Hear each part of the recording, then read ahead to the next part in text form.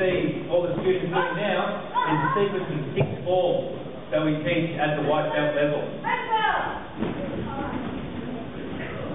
Ukemi the falling is extremely important, probably uh, along with